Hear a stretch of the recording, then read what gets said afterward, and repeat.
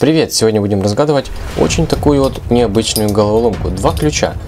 Они в зацепе и их необходимо рассоединить. А, она не похожа ни на одну из моих предыдущих головоломок, потому что у меня были веревочные, а, деревянные, металлические были. Это как бы тоже металлическая головоломка. Наверное, правильно будет да, отнести ее к разделу металлические, но такого плана метод разгадывания как бы вообще не похож. А, посмотрите, я бы ее назвал ключевой лабиринт.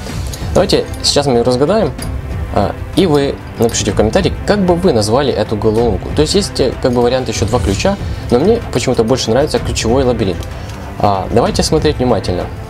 Здесь есть, значит, вот этот элемент, то есть вот этот прорез, и он как бы вот так проходит через некоторые элементы а, другого ключа. Так, вот в этом, в другом ключе, есть, видите, как бы такие впадины. Вот, например, вот, вот, кстати, и вот, вот. Так, э, давайте-ка... То есть я так понимаю, что вот этим ключом необходимо проехаться, пройтись по этому ключу и как-то его извлечь. Так, смотрим. Ну, во-первых. Так. Сюда не проходит, кстати. Кстати, друзья, пока я думаю, если вы уже раньше додумались за меня, то, конечно же, пишите в комментарии а, время, минуты, секунды, на которых вы разгадали эту головоломку.